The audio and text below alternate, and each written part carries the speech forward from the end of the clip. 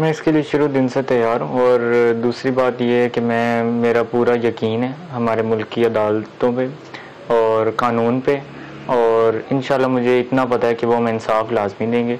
मैं जहीर अहमद, दुआ जहरा के लिए आखिरी वक्त तक लड़ता रहूँगा और जेल जाने से मुझे डर नहीं लगता।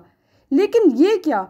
जहीर अहमद ने पुलिस की गिरफ्तारी से बचने के लिए लाहौर हाई कोर्ट से रजू कर लिया। तफसीत के मुताबिक दुआ जहरा के मुबैना शोहर जहीर अहमद ने अदालत से रजू कर लिया।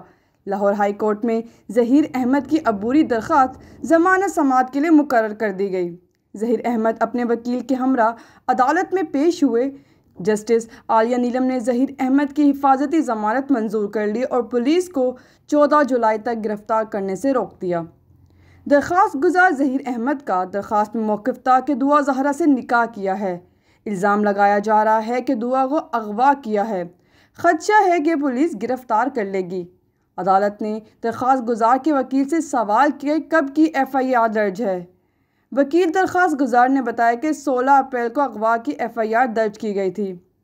जस्टिस आलिया नीलम ने इस्तफसार किया कि तो अभी तक आप क्या कर रही हैं? आपको कैसे पता चला पुलिस दरख्वास्त गुजार को गिरफ़्तार करना चाहती है?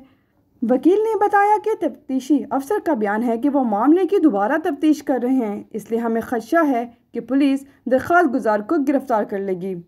दरख्वास्त गुजार ने कहा कि अदालत हिफाजती ज़मानत मंजूर कर ले, ताकि मुतल अदालत से अबूरी ज़मानत ली जा सके।